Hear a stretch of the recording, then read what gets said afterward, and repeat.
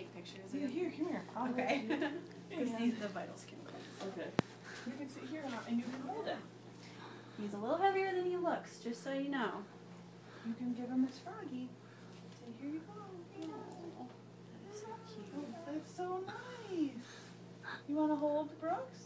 Hold him just like that. Just Who like is that, buddy? That's your brother. Do you like him? Yeah. Is he little? Are you happy to see him? You can give him a kiss.